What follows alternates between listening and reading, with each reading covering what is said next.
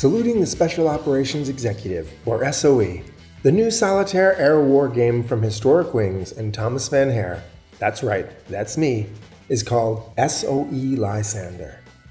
This video is the first of a series that explains how to play.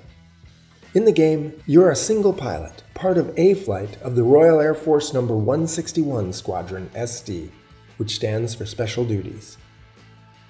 During the Second World War, the squadron operated at night, navigating only by the light of the moon. They flew deep into German occupied France and landed to drop off agents and cargo, pick up others, and fly them back to England. A Flight flew the Westland Lysander, a high wing single engine plane originally designed for artillery spotting and light attack. However, during the Battle of France, the plane proved to be hopelessly outclassed by Germany's aircraft. Yet the Lysander found its true calling flying with A Flight.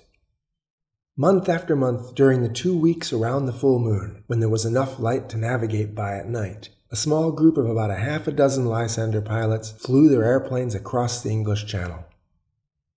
Once over German occupied France, they landed in farm fields and on abandoned airstrips, delivering agents and assassins, wireless operators and saboteurs, and others deep into enemy territory. As Winston Churchill famously ordered, the Lysanders helped set Europe ablaze. In this game, you recreate those night flights. You play as one of the pilots of A Flight, which usually had only about six pilots in all. You fly your missions as they are assigned, carrying out gameplay on a row of terrain cards.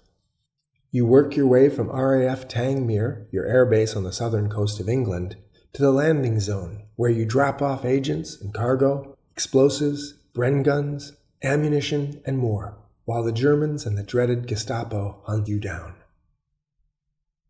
To begin your gameplay, your first step is easy. You roll up a pilot. A series of tables will define your experience, your rank, number of flight hours, and more. You record these results in two key documents the SOE Mission Diary and the pilot logbook. The SOE mission diary is your personal journal, like a flight diary. The pilot logbook is a mission by mission record of your flight time with a summary of your operations and the dates you flew each one. So let's get started.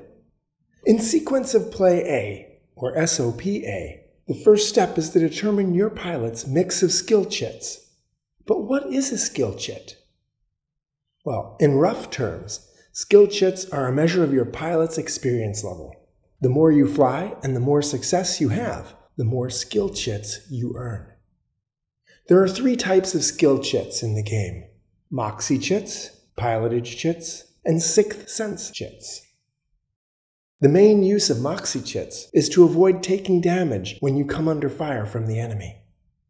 For instance, if you encounter an 88mm flak battery while over France, you might take a few hits, but by applying your Moxie chits, you can somehow dodge the damage that a lesser pilot would have suffered.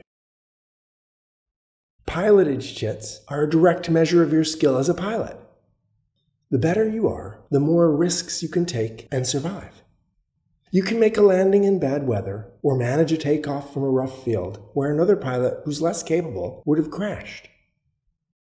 And sixth sense chits allow you to see ahead, that is, to intuitively know about a potential threat that might be coming. It's that hair on the back of the neck feeling you get when you orbit a field in France, and it isn't the resistance down there waiting, but the Gestapo hiding among the trees. So let's prepare our pilot. I'll name this one after myself, Thomas Tango Van Hare. The first step is to roll for my initial pilot training on table A1. Okay, I've got a 6. That's the magician. That means I have two pilotage, two moxie, and five sixth sense chits as my starting mix. Next, I roll on table A2. This determines my initial rank. Okay, an 8. So that means I'm a flight sergeant. The RAF had a lot of non officers as pilots, which is something you don't see much these days. They called them sergeant pilots. Now, the good news is, unlike being in a Spitfire or Hurricane squadron, advancement in number 161 squadron while flying Lysander comes really quickly. I'll probably be a warrant officer soon, and even likely make it to pilot officer by Christmas. Now, I'll roll on table A3 to work out how much flight time I have. Okay, that's a 4. That's 350 hours plus 4d6 of hours, which means uh, that's 12, add that to 350, is 362 hours of daylight flight time. Before I forget, let me write that in the top right hand column of my pilot logbook. And for nighttime, it's 100 hours plus 2d6. Okay, a 2 and a 4, that adds up to 6, so I have 106 flight hours, which I enter into that column. Finally, I roll on table A4 to see which aircraft will be assigned to me in the squadron. That's a 4. So that's tail number V9353 with MAG written as the fuselage code on the side of the plane. I start off based at RAF Tempsford, so that's it for pilot setup, fast and easy. Now there are two other things that I need to mention. First, the tables are ordered by sequences of play, or SOPs. It's easy to know that way what tables go with what SOP. Second, those of you who already have the book will note that this is the same pilot roll-up that's included in the example of play on page 51. Future How to Play videos will not feature the same mission in the book, however. So that's it. This is Historic Wings, and I'm Thomas Van Hare.